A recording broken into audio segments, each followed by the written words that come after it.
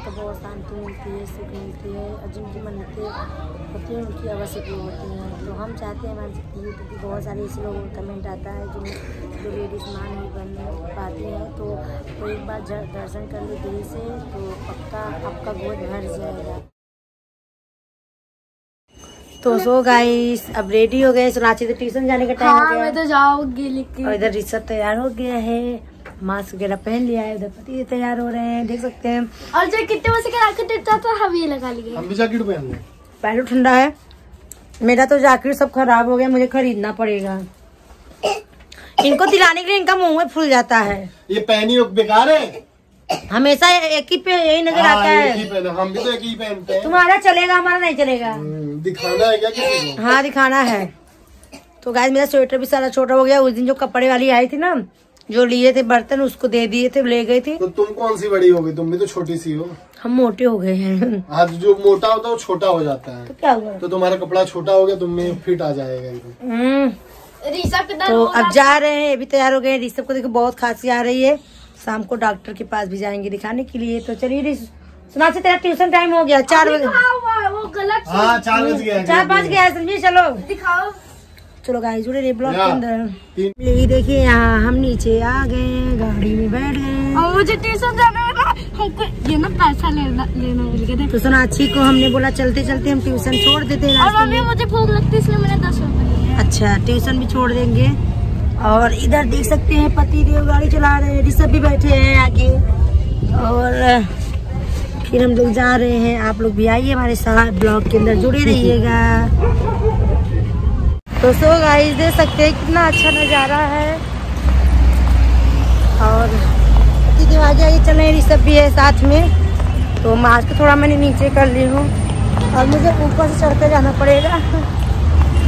पति देव बोले कि अरे ये पार कर लो कि हमने बोला नहीं मुझे डर लग रहा है इतनी गाड़ी उड़ी आ रही है। ऊपर से पार करके बना नहीं है। मैं उधर से जाऊँगी। झांसी की रानी। झांसी की रानी घोड़े बैठी हुई है। लक्ष्मी बाई की जय। झांसी की रानी लक्ष्मी रानी हाँ बहुत प्यारा लग रहा है ना? नज़ारा सब कुछ चलो। इधर देखिए लिफ्ट बंद था तो ऋषभ हम लोग से चढ़ के जा रहे हैं। यहाँ से जाएँगे वहाँ उतरेंगे चलो चलो चलो। ऋषभ चलिए गाइस मिलते हैं। सो गाइस देव आगे आगे चल रहे हैं हम ऊपर चढ़ रहे हैं। और ये ऊपर से ना नज़ारा देखने में इतना प्यारा लग रहा था, इतना खूबसूरत लग रहा था, पूछो जिन। और मेरा तो मोबाइल का नेट ही मैं कहीं बाहर जाती हूँ, चलता ही नहीं है। तो मैं सोची चलिए ऊपर से एक आध दो रील्स बना लेते लेकिन नहीं बनाए यहाँ पर। देखिए पतिदेव आगे जा रहे कितना खूबसूरत ऊपर से लग रहा है। कितनी गाड़ी मोटर आ रही है, जा रही है, ये रोड का है। और मतलब पार करने मुझे बहुत डर लग रहा था, इसलिए मैं ऊपर से चढ़ के जा रही हूँ। अब मुझे यहाँ से नीचे उतरना पड़ेगा। और इधर तो किचन का झाड़ी बिल्कुल है। जैसे लग रहा है वैष्णो देवी आ गए हैं। ना जी? तो यहाँ पर हस्बैंड जी आ रहे हैं। आ जाओ। ऐसा लग रहा है वैष्णो देवी आए हैं। हैं। इधर देखिए, एक रानी लक्ष्मीबाई इधर भी है। बहुत अच्छा ये केजरीवाल बना दिए हैं यहाँ पर। और सुविधा भी बना दिए हैं। देख सकते कितने सुंदर सुंदर पार्क भी है। और यहाँ ये बैठने के लिए भी बना दिए हैं। यहाँ फ़ोटो खिंचवाइए रील्स बनाइए कुछ भी बनाइए बहुत अच्छा लगेगा। और बगल में सड़क पहले इधर क्या था? खंडहर था। जब हम लोग आते किधर जाना है? वहाँ तक पूरा बनाए बनवाए हैं केजरीवाल। अभी हम वहाँ से आएँगे फिर इधर दिखाते हैं आप लोग को। अब मुझे पीछे की साइड जाना था। मैं रास्ता ही भूल गई थी। सब कुछ बन गया है ना तो इसकी वजह से रास्ता भूल गए हम। दोस्तों गाइस हम लोग यहाँ पर आ गए हैं। मैं बता दे रही हूँ। मैं यहाँ आई हूँ मज़ार पे। पहले मैं यहाँ बहुत आती थी। मतलब दो साल से मेरा छूटा है यहाँ पर। और यहाँ आती थी मुझे बहुत शांति मिलती थी। और मेरा जितना मन्नतें थी वो भी सब पूरा हो जाती थी। और ये जो ऋषभ हुआ है ना यहाँ आती थी और मैं निजामुद्दीन जाती थी। इनके इनके देन से मेरा ऋषभ हुआ है। और शक्ति बहुत अंदर है। तो हमने बोला चलिए, फिर से हम लोग स्टार्ट करते हैं। कुछ हमारी मन्नतें हैं जो पूरी हो जाएगा, मैं आप लोग को बताऊँगी। यहाँ मैं अब हर वीरवार को आऊँगी। और दीदी के साथ देख सकते हैं, यहाँ पर बहुत सारे ऐसे गरीब वगैरह बैठे रहते हैं रोड पर। अपने दर्शन कर लेते हैं, फिर हम आपसे बात करते हैं। तो गाइस देखिए, यहाँ अंदर हम आ गए हैं। पहले यहाँ बहुत भीड़ होती थी, बहुत ज़्यादा, लेकिन अब तो बहुत कम हो गया है। जब से ये लॉकडाउन वगैरह चलने लगा है या मतलब प्रदूषण और ये कोरोना वगैरह, इसकी वजह से यहाँ ज़्यादा मतलब कि कम भीड़ है। नहीं तो पहले तो पैर रखने का बिल्कुल जगह ही नहीं होती थी यहाँ पर, और बृहस्पतिवार को यहाँ बहुत भीड़ होती थी। हम भी तो आते थे, लेकिन बीच में छोड़ दिए थे, फिर आना शुरू कर दिए। हमने बोला, चलिए, अब तो कुछ कम हो गया, चलते हैं।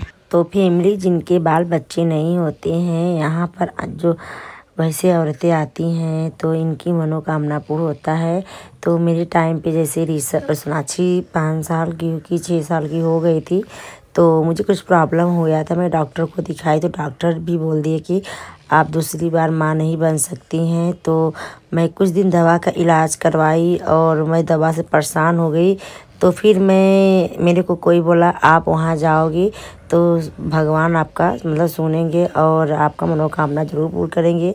तो देखिए यहाँ पर पति देव, जब हम लोग आते हैं, हाथ पैर धोते हैं तो हम यहाँ हर वीरवार को आते थे, हर वीरवार को आते थे तो मेरा मनोकामना पूर्ण हो गया। मैं एक यहाँ आती थी, एक छोटा मज़ार है और एक बड़ा मज़ार है, वहाँ पर क्या बोलते हैं निज़ामुद्दीन। तो निज़ामुद्दीन और यहाँ ये शेख सराय में है।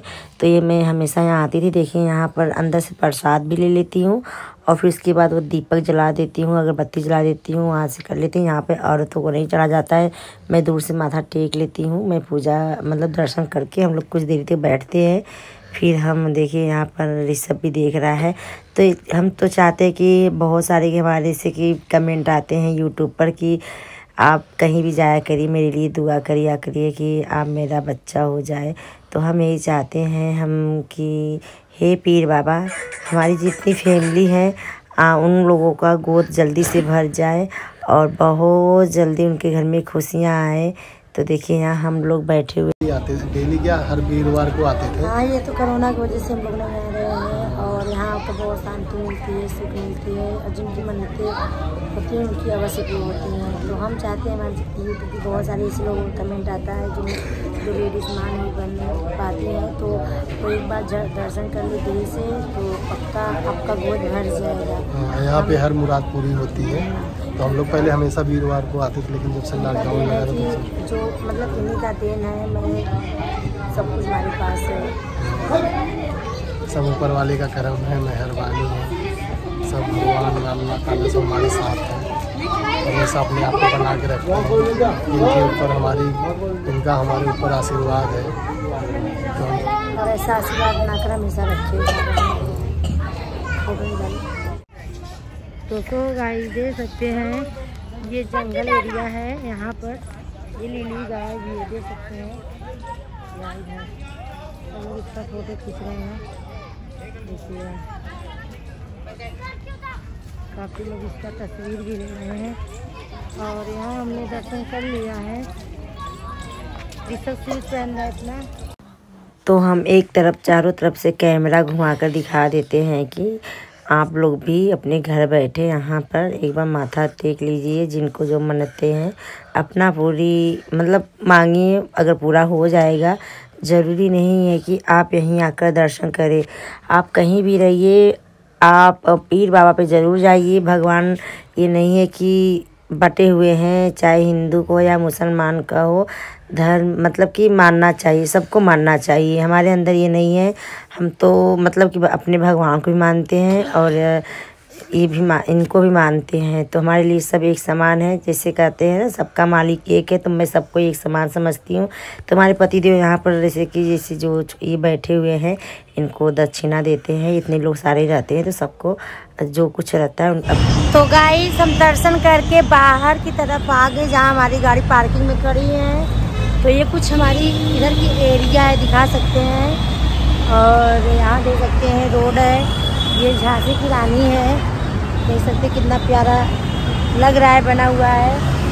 तो पति देव गए टॉयलेट करने रिज़र्व भी गए तो बोले बैठे रहो मैं भी आता हूँ। तो हम उनका बैठ के वेट कर रहे हैं अकेले यहाँ पर।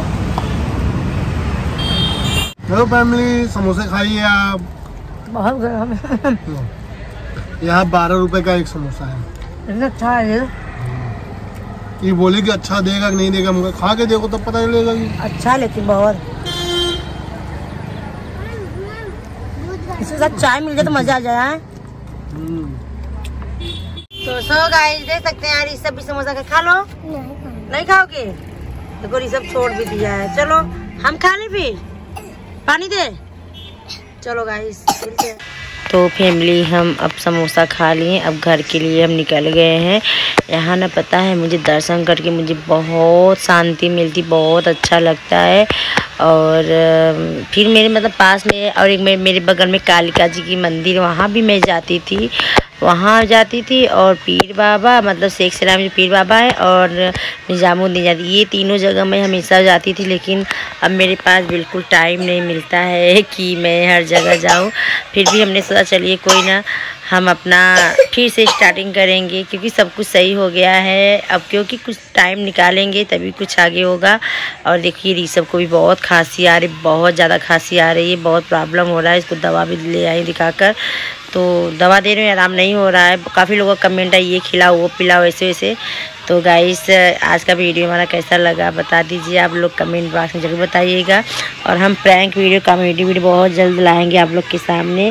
और हमारी वीडियो को ज़्यादा से ज़्यादा शेयर किया करिए? प्लीज़ आप लोग से हाथ जोड़ के रिक्वेस्ट करती हूँ कि मेरा एक लाख जल्दी से सब्सक्राइबर कर दीजिए।